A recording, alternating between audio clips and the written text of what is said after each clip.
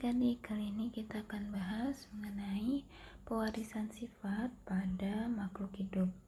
Oke, yang ditanyakan adalah apa yang dimaksud dengan autosom dan genosom. Kita akan bahas di sini.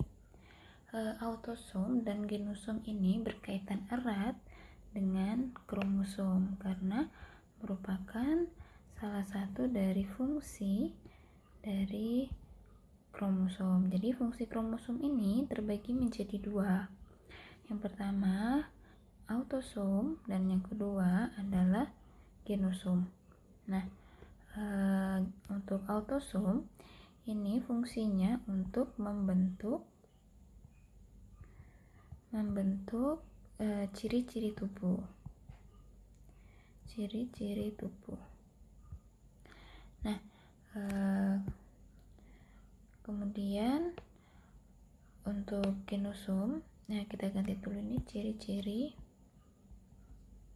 tubuh. Untuk genosom, ini fungsinya adalah untuk membentuk jenis kelamin. Nah, eh, jadi eh, yang dimaksud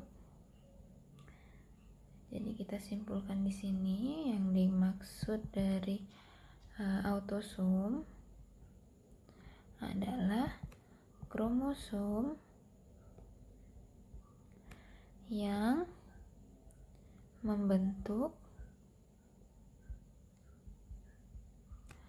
ciri-ciri tubuh.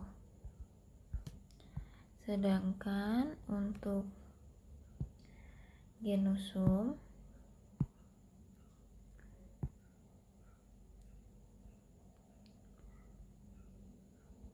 adalah kromosom yang membentuk ciri-ciri yang membentuk bawahnya membentuk jenis kelamin. Itu tadi penjelasannya. Uh, semoga penjelasan ini cukup jelas ya. Uh, selamat belajar